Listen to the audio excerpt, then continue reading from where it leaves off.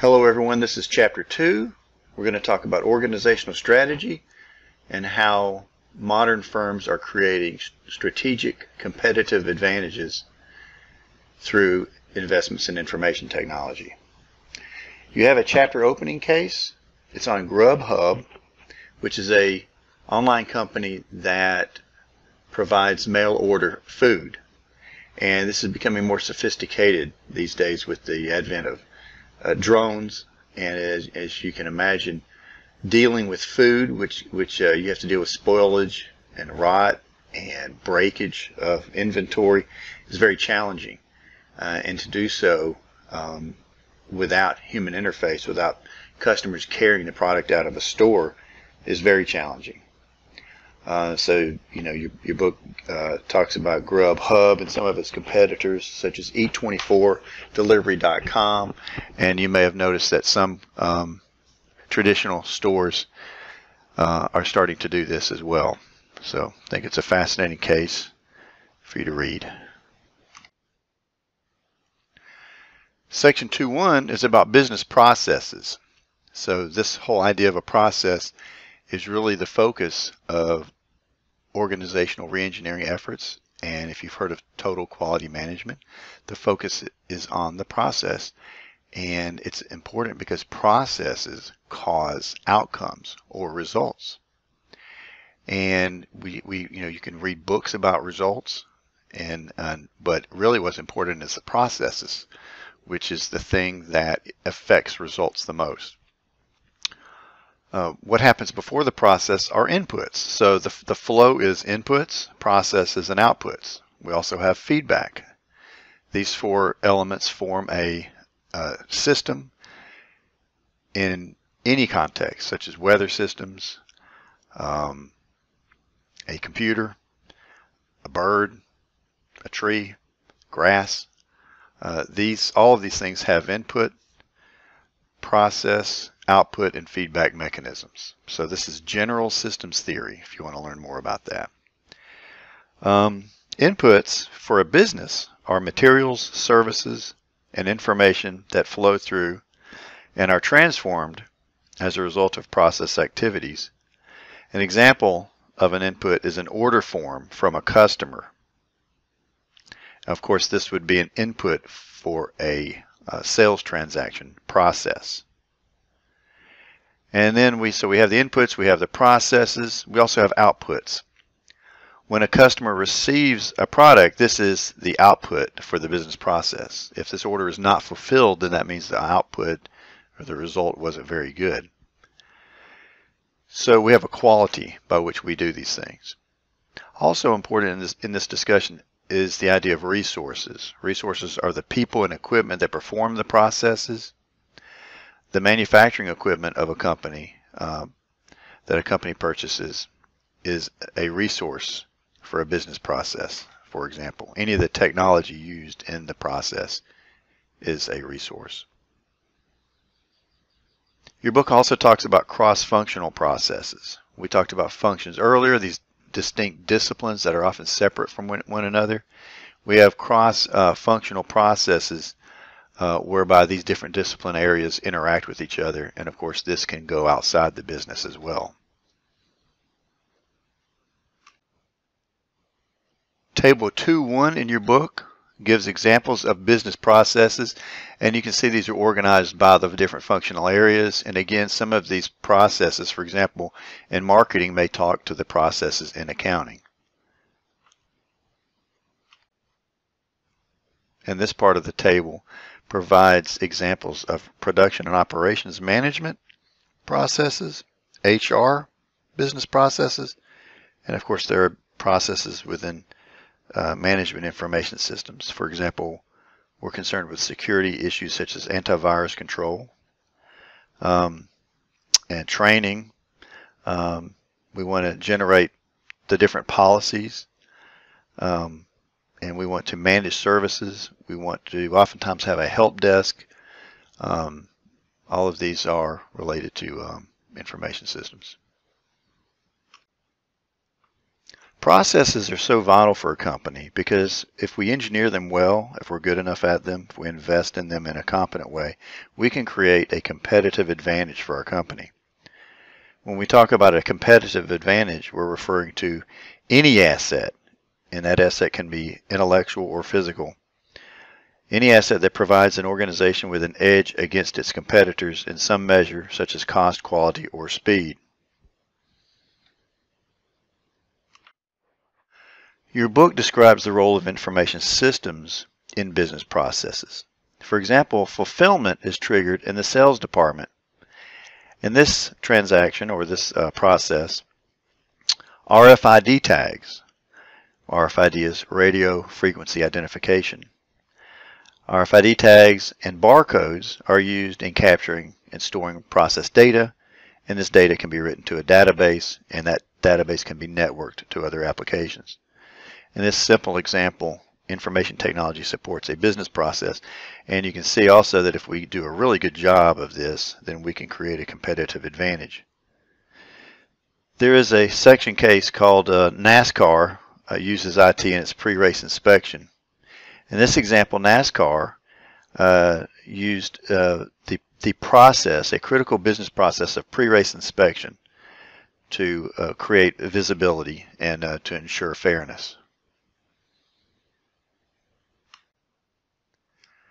This diagram shows something that may be familiar to a lot of students.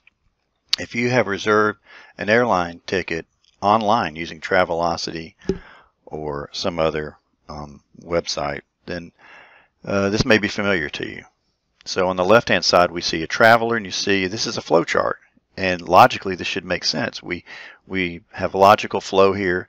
Uh, we begin to plan a trip, we check flights, if seats are available, we continue on to submit an order. If seats are not available, we continue checking flights.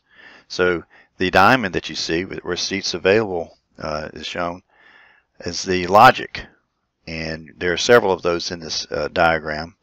On the right hand side, uh, where we have the blue background, you see that this is what happens at the um, airline website. So you see here we have two different um, agents interacting with each other, the traveler and the uh, airline website. And this depicts uh, logic. And what we're trying to do here is, number one, we're trying to understand the situation, understand the problem domain. And number two, we use this logic diagram to uh, develop uh, information systems applications. So it's a way of analyzing problems. We use various uh, charting methods in information systems in uh, the development process. Section 2.2 is about change. Uh, the two primary mechanisms for change in any organization is radical and incremental. Your book calls these business process reengineering, which is the radical form of change, and business process improvement, which is the incremental uh, form of change. They are very different in that reengineering involves uh, top-down change that is driven by top management. Uh, it's usually done when there's a negative situation where the economy turns down and we have to change, we have to save costs. Business process improvement is bottom up. This is where we want to change. We want to improve to get better. We include uh, many organizational stakeholders and we listen to as many people as possible and gain knowledge from them and, and make the organization better. So your book says that BPR is the most difficult, radical, lengthy, and comprehensive uh, form of strategy for change. And it refers to BPI as a methodology for achieving incremental improvements in the effectiveness and efficiency of a process. For example, many of you may have heard of Six Sigma. It's a popular BPI methodology. What it means is that we consider anything outside six standard deviations from the mean to be an error, and we want to investigate those errors to improve the organization. BPI has a lot of terminology associated with it. It's it's a massive discipline. A lot of people are familiar with W. Edwards Deming, who we're going to learn about later, and the quality revolution. So quality, uh, according to your book, is the result of optimizing the design, development, and production processes. We gain from this oftentimes uh, the quality uh, uh, initiatives, we gain differentiation, This is the result of optimizing the marketing and innovation processes. We also may attempt to achieve cost reduction. This is the result of optimizing operations and supplier processes. Your book talks about the control stage in BPI, which is characterized by establishing process metrics and monitoring the improved processes. Dashbar, dashboards are used in monitoring uh, process performance as well. We've mentioned dashboards before. An example of why we would be concerned with BPI is, uh, for example, as, as, many of you are familiar with customer wait times. Uh, we want to shorten customer wait times, and that would be an example of an efficiency metric. This has been around for many years in restaurants. A third aspect of organizational change that we've not talked about yet is business process management, or BPM. This is a management system that includes methods and tools to support the design, analysis, implementation, management, and continuous optimization of core business processes throughout the organization. Your book has a closing case. It's about business BPR, BPI, and BPM at Chevron. Chevron initially utilized BPR to improve their supply chain, followed by employee-driven BPI initiatives, and then adopted a unified BPM approach to standardize business processes. Chevron employed Nimbus to provide detailed work instructions to its, um, to its employees. Chevron has used Lean Six Sigma. That should be familiar to you. I just described that. A methodology that combines statistical process analysis with techniques to eliminate waste and improve process flow since 2006. So BPR, BPI, and BPM. Uh, BPR is radical change, BPI is incremental, BPM is ongoing management of, of uh, change initiatives.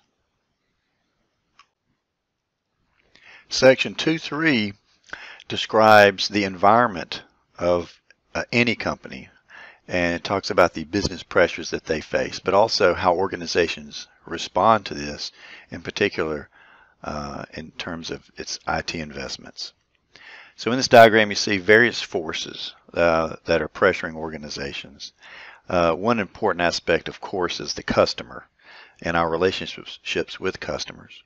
And any information technology we build should not um, interfere with our relationship with our customers. And unfortunately, some technologies do this, in fact, um, and, and, management should certainly try to um, avoid this. Of course, customer relationship management is an important uh, interest of managers and organizations. It should be an organization-wide effort.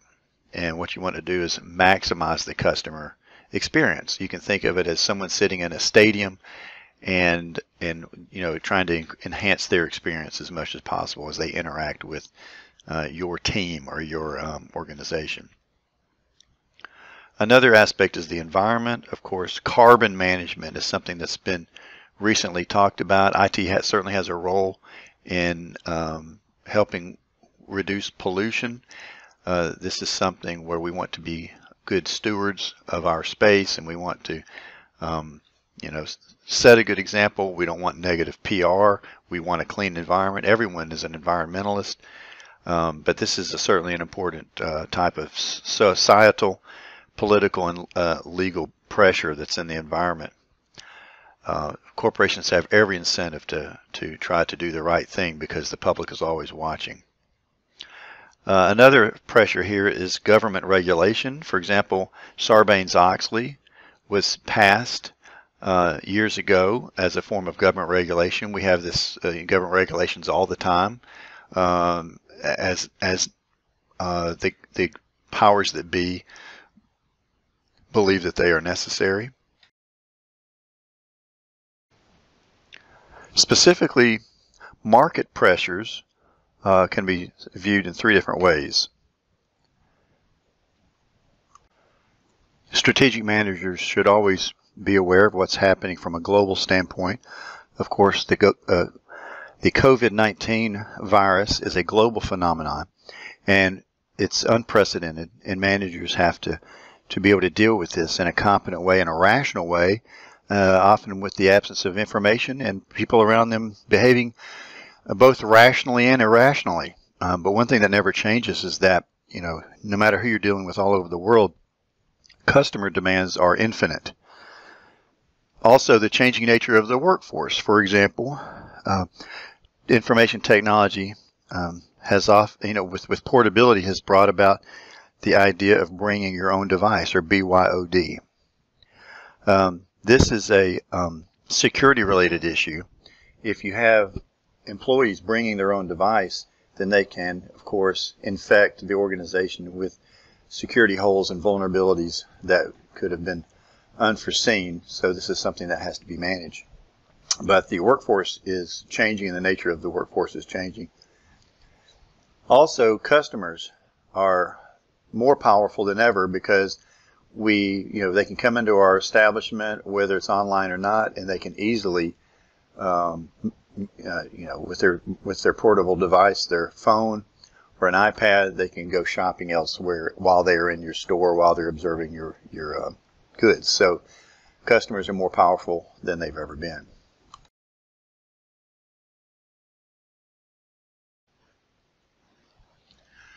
So another business pressure is also um, technology technology driven. Technology is changing all the time, and it's affecting everything that you will study in business. Uh, you, if you live long enough, you can see technological innovations occur, and as they occur, uh, what will also be happening is obsolescence. Uh, so whereas we used to have the uh, manual typewriter that became obsolete because of the electric typewriter, and then what made that obsolete was the computer and word processors. And so innovation brings about obsolescence. And so therefore, any technology has a certain lifespan.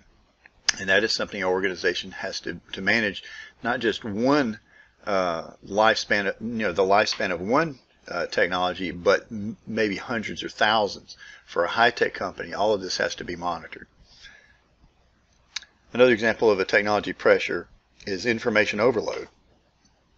There's a tremendous amount of information available in the world. If you've read enough posts online, you know that some of it is useless and, and worthless information. And so the, you know, you can wear yourself out reading about the COVID virus, for example. Well, you know, how much of that energy is justified? Um, we have more information out there, more maps, more graphs, more charts, and and we can really exhaust ourselves reading about this phenomenon uh, and, and, anything as well. I mean, we, we can get tremendous amounts of information these days with archival databases. That is not the issue these days. At one point in time, that was the problem. Now the problem is sifting through the information and finding what's most relevant. And so, you know, I, I would challenge all of you to try to understand things uh, from a minimalist, minimalist standpoint what are the key pieces of information that you really need to know because all of the information isn't uh, the most relevant. It can't be. So your book also describes societal pressures on companies as well. These can be very strong, such as the social responsibilities. You have a case. Uh, it's about business. It's on solar powered tablets in Ethiopia. In this case, there was an initiative called One Laptop Per Child, or OLPC. It was an experiment with solar powered tablets that took place in Ethiopia. It was a major success. The goal of the OLPC experiment uh, was to improve literacy in children. So it just goes to show you all of the places in the world that can be touched by uh, appropriately applied information technology. And so I encourage you to read these other sections uh, on government regulations also, as we've mentioned. Protection against terrorist attacks. Uh, that's going to be an ongoing uh, issue as we go forward. We're, you know, think about uh, ethical issues as well, such as, you know, people with disabilities needing to have access, um, as, as well as the um, digital divide, uh, dealing with poverty and, you know, race, gender related issues. You know, we want to treat everyone fairly. All of these things have to be embedded in our actions and our uh, information technology in the uh, global marketplace. So let's look at organizational responses to all of these pressures. From our perspective, from an information technology perspective, organizations respond by building systems that are strategic in nature. They are strategic responses, and oftentimes we attempt to get ahead of society uh, and these these trends, uh, especially the technological trends that are causing all of this change. Strategic systems are defined in your book as any information system uh, that, if used properly, can provide competitive advantage by helping an organization implement its strategic goals and improve its performance and productivity. So from this, we're interested in improving the organization from one to five years out, which is very challenging in today's dynamic environment. We also respond as organizations by focusing more on customers. It is believed widely that if you lose um, track of your customers and what their demands are, for example, if gas prices shift dramatically, you may not have the automobiles that you produce that fit the gas prices and the demands of the of the uh, consumers. So with these shifts in mind, it is challenging to uh, remain focused on what customer demands are. We often use information technology for this purpose as well. Whereas mass production has been around for a long time, with information technology, modern organizations are far better at make to order and mass customization. If you've ever bought a Dell computer, you go online and you can select exactly the features you want and they will manufacture and produce that individual item for you. They will make it to order. Because they do this in mass, we consider this mass customization. Another way organizations respond is through e-business and e-commerce. Amazon, eBay. There are many companies available online. Even groups are, are having a, a presence where you can join, you can subscribe, pay money uh, to join. They want to create affinity. And all of this type of commerce that we generate through electronic means is known as e-business and e-commerce. Section 2.4 goes into detail about describing competitive advantages and how we develop strategic information systems for supporting specific purposes for, for, for the organization. This is a model by Michael Porter, as you see the man on the right. He developed a competitive forces model. It is five forces. And so the first force is the threat of new entrants. We do not want more competitors.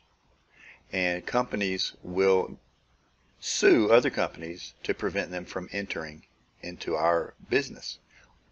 We want entry barriers for our competitors. Another force is supplier power. Suppliers, when they're really big, when we really depend on them, can exert great pressure on us and reduce our profitability. Buyer power, this is our customers. Customers can be substantially important. For example, if we sell 90% of our product to Walmart and then they retail it later, then Walmart becomes really important to us and very powerful over us. And they can uh, lower the prices and, and, it, squeeze us and make life more difficult for us. For example, banks have a lot of competition locally in addition to competing with online banks. This concept applies to the bargaining power of buyers, and the web has a mixed impact on buyer, buyer power. In general, size matters regarding buyer power as well as supplier power. Fourth, we have rivalries. These are companies that compete side by side against our company. Um, when we have only when we have no rivalries, we call this a monopoly. When we have a few, we call it an oligopoly. You may know that terminology from uh, management. When we have many rivals, then competition is more fierce. The fifth force in a competitive environment is the threat of substitute products. There is an actual um, case. Uh, it's about business, uh, the Weather Channel. The Weather Channel is a powerful and well-known brand that is actually losing viewers. Startups like Dark Sky could predict to the minute when it is going to start raining or snowing within the next hour because they integrate and analyze data to improve short-term forecasting. Some of you have multiple weather apps on your phone. This is an example of the threat of substitute products. Porter has another model that depicts the internal aspects of the organization, whereas the uh, competitive forces model describes the ex external environment of a company. The value chain helps managers think about and organize their internal uh, operations. He calls this the value chain model. So the, the value chain model is made up of primary and support activities. Primary activities are those in which employees directly touch and influence the product or service. They may directly interface with the customers. Support activities are thing, uh, you know, employees that do not directly touch the product or interact with customers.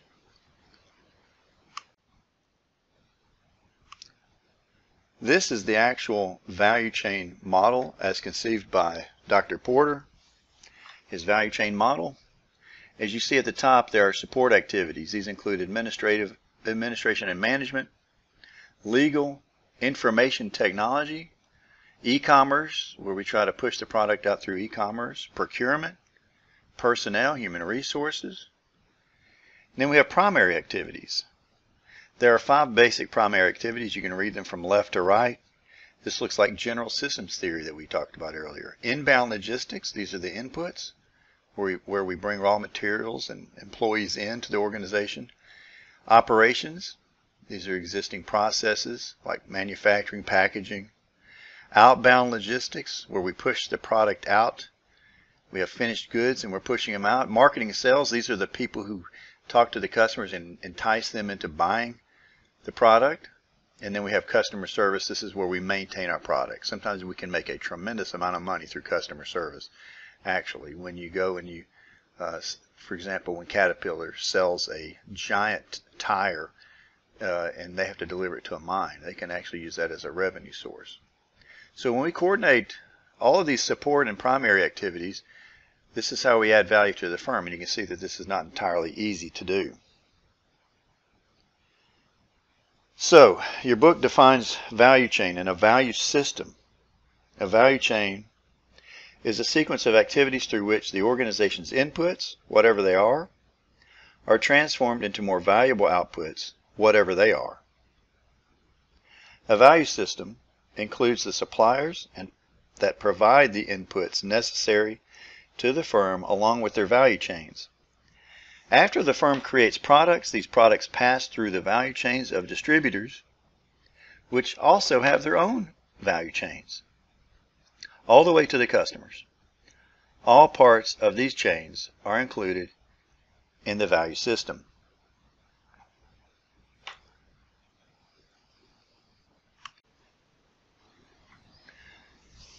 Professor Porter has another contribution to this discussion.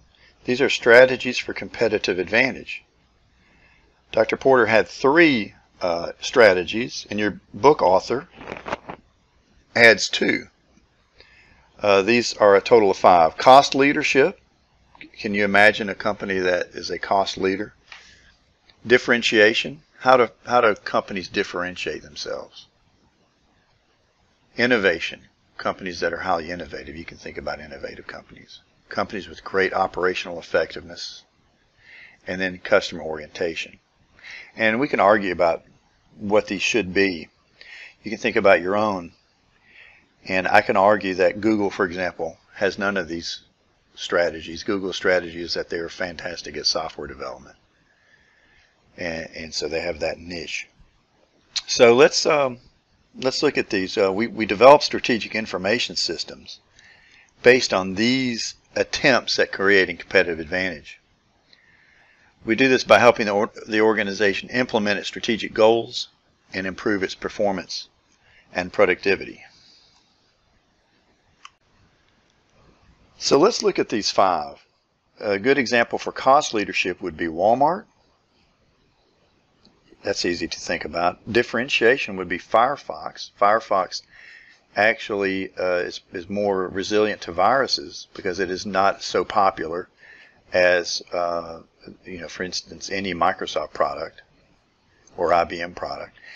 And innovation uh, is would be Apple. Clearly, one of the most valuable companies in the world, worth over a trillion dollars. Uh, there are many examples of this in, in IT. We now have what four companies that have passed the one trillion dollar market capitalization rate, all based on innovation.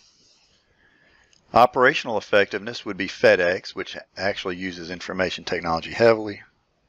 Customer orientation would be Amazon.com when they call you by name. They say, uh, Hi, Bill. Hi, Jane. And they push suggestions to you. Uh, this is uh, Amazon trying to have a customer orientation. From this discussion, there are two broad concerns that we address in the MIS function. One is the organization's interests, organizational strategy. Uh, we'll refer to this as the business concern. And the other is how we apply information technology to support the business. And these two uh, factors need to be aligned. In other words, all of our information technology needs to be created to support the organization's strategy uh, and its tactical plans and its operational plans as well. So your book talks about business information technology alignment. This is the tight integration of the IT function with the organization's strategy, mission, and goals. Chapter 2 concludes with a case on IBM's Watson, which is an expert system that is used heavily in the healthcare industry. IBM's Watson can process structured and unstructured content, diagnose diseases, and recommend treatment. And incidentally won $1 million on Jeopardy. So that just shows the diverse applications of this expert system. So this concludes our chapter. Thank you.